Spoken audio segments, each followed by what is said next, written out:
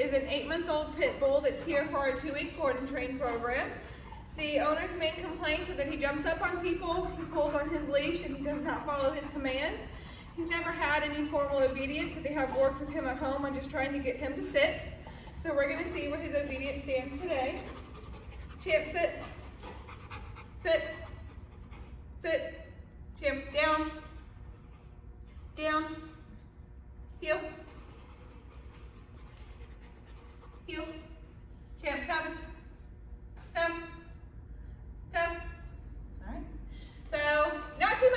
Foundation, but we are going to get him trained on and off leash and distraction proofed over the next two weeks. So check back in to see everything that Champ has learned.